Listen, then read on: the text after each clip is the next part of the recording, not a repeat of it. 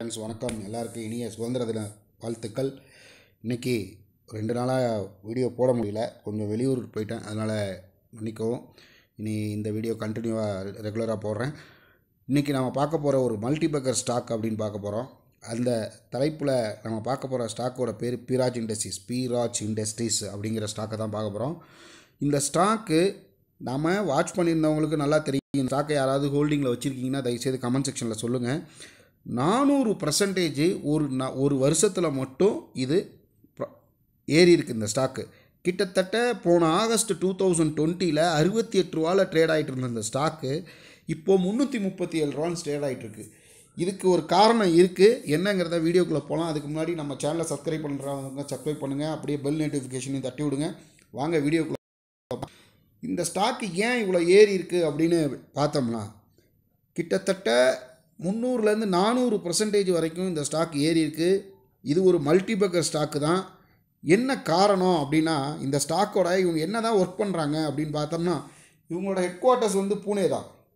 பட்டு இவங்களோட பிஸ்னஸ்ன்னு பார்த்தீங்கன்னா South Africa North America Latin America Caribbean Thailand Philippines எல்லா கண்ட்ரிலையும் உங்களுக்கு ஆஃபீஸ் இருக்குது இவங்க என்ன பிஸ்னஸ் பண்ணுறாங்கன்னு பார்த்தீங்கன்னா கிட்டத்தட்ட எத்தனால் பேஸ்டு ப்ராஜெக்டை தான் ப்ராடக்டை தான் இவங்க மேனுஃபேக்சரிங் பண்ணுறாங்க வேர்ல்டு ஃபுல்லாக எத்தனாலை சப்ளை எக்ஸ்போர்ட் பண்ணுறாங்க இதுதான் இவங்களோட முக்கியமான பிஸ்னஸ் இந்த பயோ எனர்ஜிங்கிறதும் அதுதான்.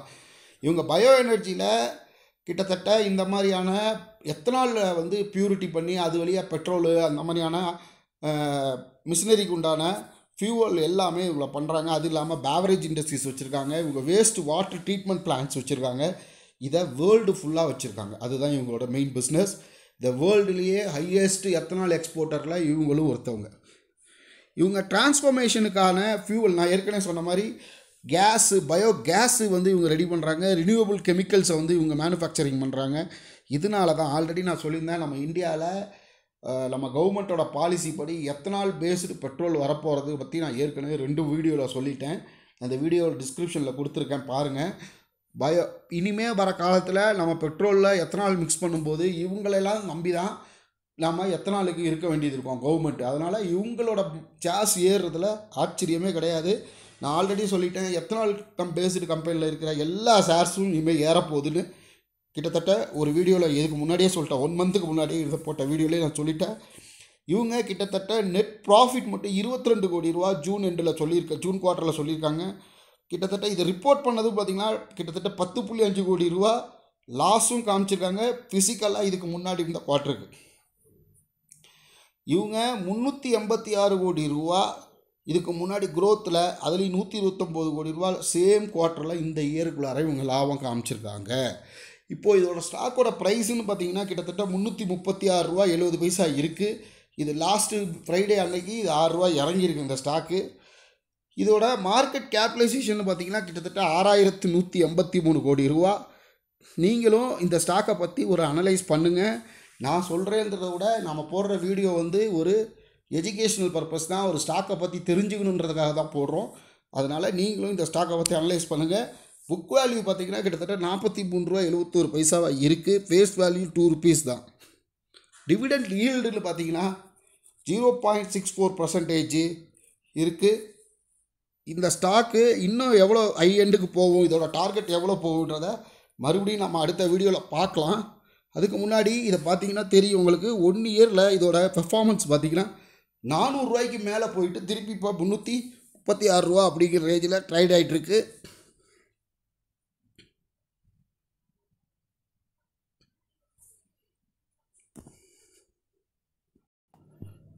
இது ஒரு எத்தனால் பேஸ்டு ஸ்டாக் தான்.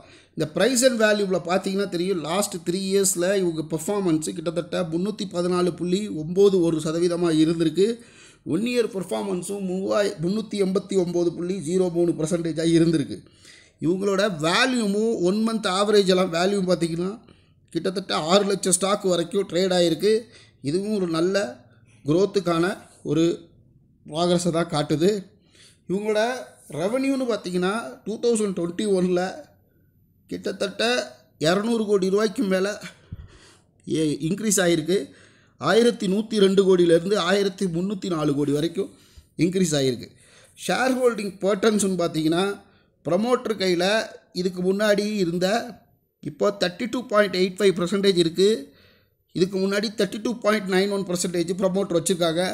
அவங்க ஹோல்டிங்ஸை டிக்ரீஸ் பண்ணியிருக்காங்க ப்ரமோட்டர்ஸு எஃப்ஐஐஸ் கையிலையும் கிட்டத்தட்ட தேர்ட்டீன் பாயிண்ட் ஒன் டூ பர்சன்டேஜும் டிஐ கையில் செவன் பாயிண்ட் ஒன் த்ரீ பர்சன்டேஜும் பப்ளிக் கையில் ஃபார்ட்டி சிக்ஸ் பாயிண்ட் நைன் பர்சன்டேஜும் இருக்குது இதில் ப்ளட்ஜு எதுவும் அவங்க காமிக்கலை. அதனால் ஸ்டாக்கில் எந்த ப்ளஜ்ஜும் இல்லை ப்ரமோட்டர் கையில். இது ஒரு நல்ல குரோத்து தான். அதே மாதிரி பார்க்க போனால் மியூச்சுவல் ஃபண்ட் ஸ்கீம்ஸும் கிட்டத்தட்ட ஆறு சிக்ஸ் நம்பர்ஸில் இதில் அவங்க வச்சுருக்காங்க. எஃப்ஐஐஸு கிட்டத்தட்ட ஐம்பத்தி ஏழு நம்பர்ஸில் இவங்க ஹோல்ட் பண்ணியிருக்காங்க கிட்டத்தட்ட சேஞ்சஸ் பார்த்திங்கன்னா இருபத்தாறு சீரீஸில் வந்து அவங்க இன்க்ரீஸ் தான் பண்ணியிருக்காங்க எஃப்ஐஐஸ் மியூச்சுவல் ஃபண்ட் ஸ்கீம்ஸ் யாருமே இதை வந்து சேல் பண்ணலை.